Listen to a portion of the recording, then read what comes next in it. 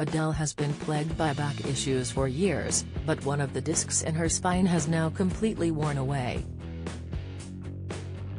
The 34-year-old Easy On Me singer found her recent shows anything but easy after discovering that her L5 vertebra had disintegrated.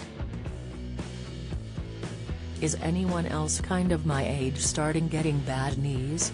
The woeful star asked of her audience at the Colosseum at Caesars Palace. Damage to the L5 vertebra causes numbness and weakness in the legs, which has left her struggling to walk tearful Adele lamented, I have got really bad sciatica in my left leg and my L5 disc is not FG there anymore. It's worn away. She had previously admitted to the audience that her back issues were so bad, she was being forced to waddle around on stage.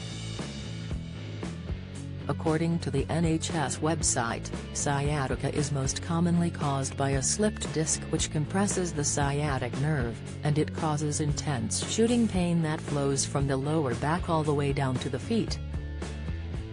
Sufferers typically recover within around six weeks but Adele hasn't been so lucky, and in fact, her issues have dogged her for almost 20 years. She slipped her first disc due to sneezing aggressively at the age of 15, and it was the same way that subsequent discs flew out. By the time she had a C-section to give birth to son Angelo, now 10, her core had become useless. I've been in pain with it for, like, half of my life, really, she agonized to the face.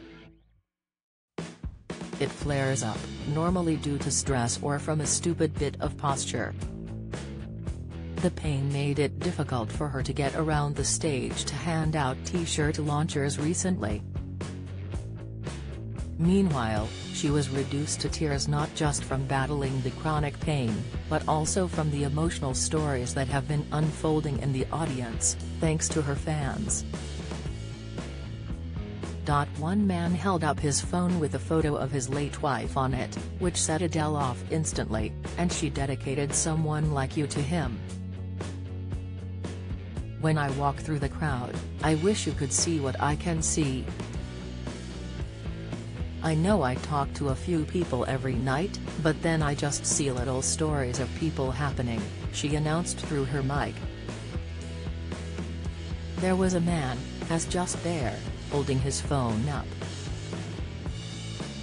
I think that's his wife on the phone, and I don't think she's here, and it just really moved me, the songstress admitted.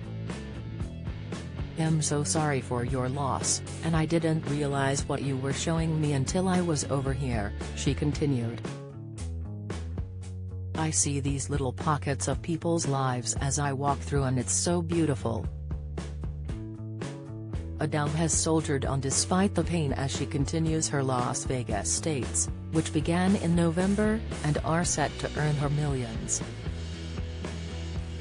Meanwhile, she also shared her emotional angst of the recent past with audiences, admitting that when she split up with her child's father, Simon Konecki, she initially went through therapy five times a day,